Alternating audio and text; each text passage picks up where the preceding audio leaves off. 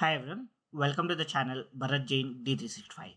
So today let's try to explore fixed assets data migration. So I will be covering the steps that's required to execute data migration for fixed assets and what are the templates that we'll be using to migrate the fixed assets. So before we start with that, so let's understand few key areas uh, when you do data migration. So obviously the data we move will be based on the cutoff date so for example, I'll be considering May 31st as the cutoff date. So we consider all the balances as on May 31st. Once the data migration is completed, what are the key area that needs to be looked at from fixed assets module perspective, right? So one is acquisition date. So I would want to know what is the original acquisition date of the fixed assets after migration. Placed in services, from which date the fixed assets depreciation started to calculate.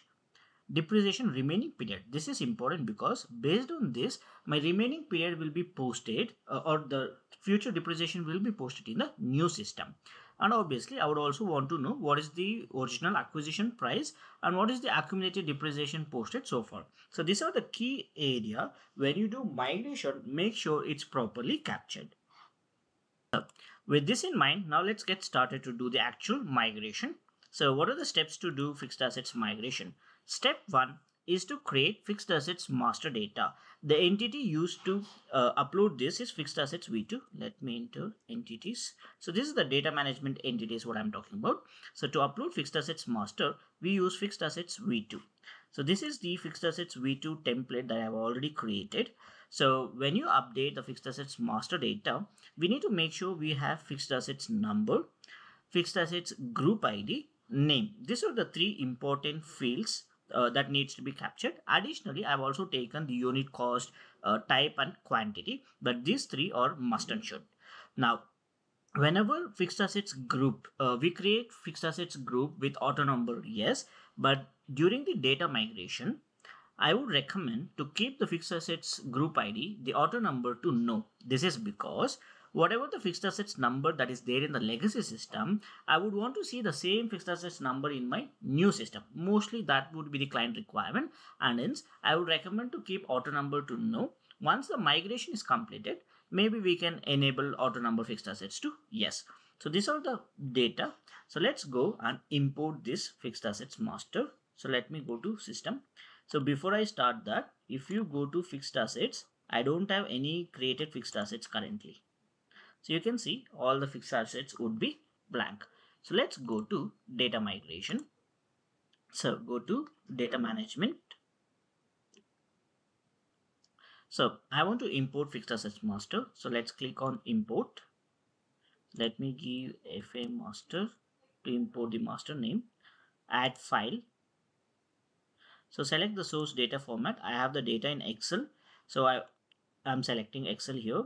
Entity name. So it should be fixed assets V2. Let me put it to contains fixed assets. So this is the entity name that I want to select. So I need to select the file. So let me close this file, save and close. So let's go back to system, upload and add. So let's quickly select what I want to fixed assets migrate so the first one is fa master update. So let me select that. So once i add the file a line will be created here. So once the line is created then let me go and import it. Once the line added so let me close this select the line and click import now. So once the data is imported now if i go back to my fixed assets module let's refresh the screen so you can see all the fixed assets are created so let's take one sample fixed assets. So let's say go inside the fixed assets. So what are the data I need? I need fixed assets number, fixed assets group, fixed assets name. So these are the key data that I would verify. Additionally, I have unit cost, quantity and uh, type. So once fixed assets master is updated, the next step is to update fixed assets book. So the entity to update fixed assets book is fixed asset books v2. So what are the fields needs to be considered for fixed assets books? So if I go to book update, so here are the key fields that needs to be considered. So I would need fixed assets number because against which I'm updating book ID. So this is key because the right book needs to be mapped to the fixed assets. Acquisition date. So here, if you remember, the key field that we need to verify, one of the date is acquisition date. So make sure you get the right date that needs to be acquired. So here, uh, I had a lot of question. Should we post acquisition on 2019? Should we open that particular calendar and post on that particular date? So we don't need to do that. So I am posting transaction as on May 31st. So I would only open period for May 31st. I would post a transaction for May, but through this my book ID, the acquisition date would be 2019. So I would override the date from this particular field and that is why acquisition date column is very important.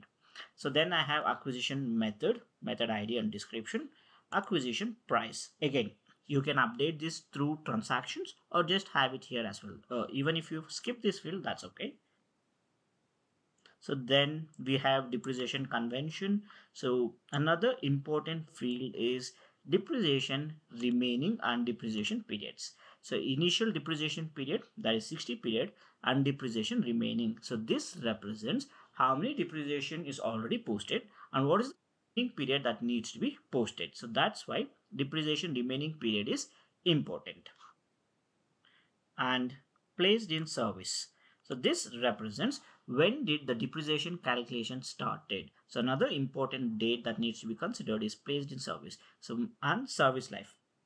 So these are the key field that needs to be in, included in my fixed assets book. So once all this data is in, let me save this, close. So let's go to system and import fixed assets book. So go to data management. Let me just come back, click new. I want to import FA book.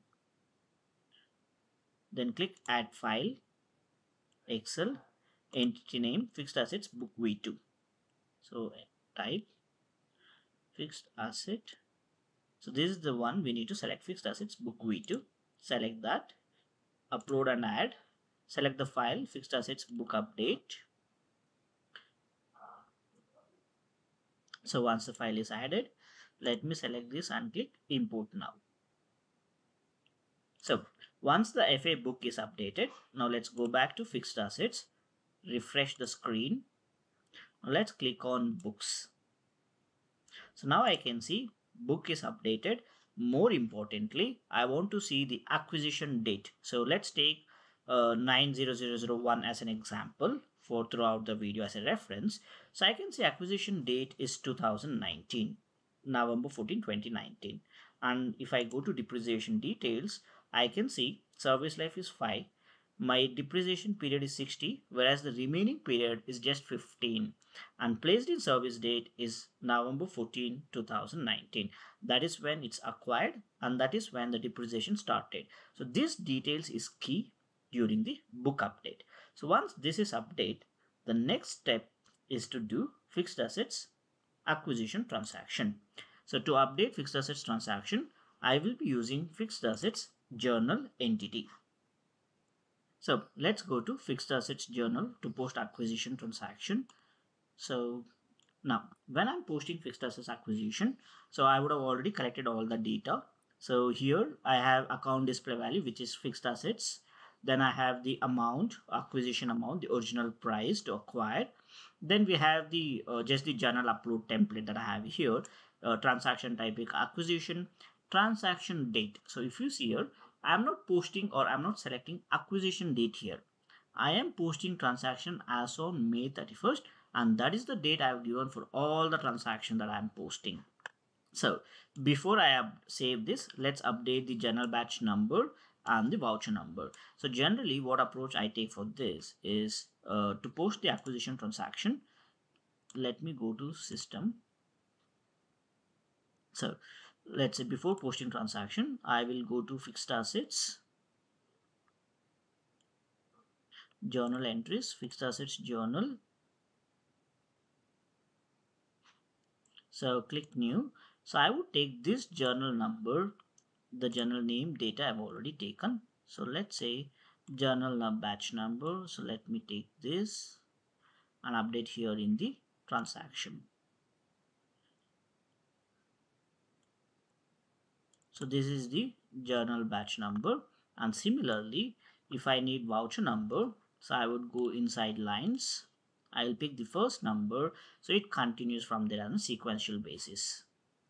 So let's expand this. So you can see voucher number. I will give an opening balance FA so it will be easy to identify. So let's take that number here. So let's put that number here so that's the voucher number which I have updated. So once the file is ready let's save close this. Now let's import the acquisition transaction. So go to data management. So let me go back here. Click new. So here FA acquisition. Now add file. Okay if acquisition name already exists or I think it's the space. So entity name fixed assets journal. So let me select that. So fixed assets journal. That's the one I'm selecting. Upload and add. Here transaction fixed assets journal. This is to post acquisition. Select that. Once the line is added, select this and click import now. So it's imported. Now let's go to fixed assets journal. So this is a fixed assets journal which I created. So let's go inside the lines. So now I can see all the transactions have been imported. So you can see date. So I am posting as on May 31st. So I've included the fixed assets, the debit amount, which is the acquisition amount, offset account i'm taking a dummy account triple nine eight which is what i've taken. So once you import now let's validate and post the transaction. So let me simulate posting. So once the simulation is successful now the transaction is ready to be posted. Now here's a key. Uh, so if you remember our next step after acquisition i have mentioned step 4 as book update. So why is this? Because if I go to fixed assets currently, so you can see acquisition date is 2019, right? I've taken this as an example. Now, once a transaction is posted, the acquisition date will be changed to May 31st because I'm posting the transaction as on May 31st. But once the transaction is posted, I will update the books again, which in turn will change my acquisition date back to 2019. So in this way, I can avoid creating calendar. Let's say if I have fixed assets from 2000, I don't need to go and create calendar from 2000. I can create a current year, but in this way, I can still get the acquisition date in place. So let's go ahead and post the acquisition transaction. So click post. So the number of journals posted 94. Now if I come back, refresh here. So you can see the date is changed to May 31st, 2024. Uh, I think the screen is refreshing. So let's just give it time. yeah, it's back. So now if I go to books here, so you can see uh, the acquisition is date is back to May 31st, 2024. And so my placed in service date also is updated, but my depreciation period, remaining period is properly there. So for me, I need to change acquisition date placed in service. So these are the two important areas I need to change. And that is why my next step is to re-update books which is already updated. So in that way, I will change the acquisition date and my placed in service date. So if I go to transaction, currently I will see one acquisition transaction. So now let's go back.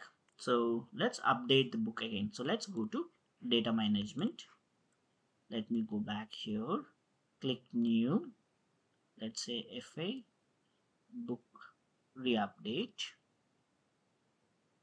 I think I cannot give space. So let me just give that. Now click add file entity name fixed assets book v2 if you remember that's what we used it. So fixed assets book v2 now uh, upload and add.